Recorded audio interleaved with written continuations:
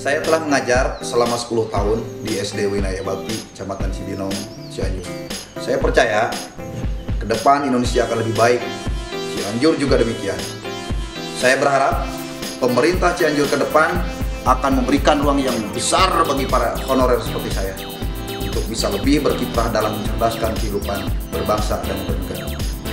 Figur pemimpin yang memberikan perhatian terhadap keberadaan guru honorer tentu yang akan saya dukung dan saya pilih. Haji Irfan Rifano Muntar adalah figur calon bupati Cianjur 2016-2020 yang paling saya percaya. Karena itu saya pilih nomor 2 pasangan Haji Irfan Rifano Muntar dan Haji Herman Suherman. Guru honorer, Yakang Irfan Rifano Muntar, salam dua ramo saja.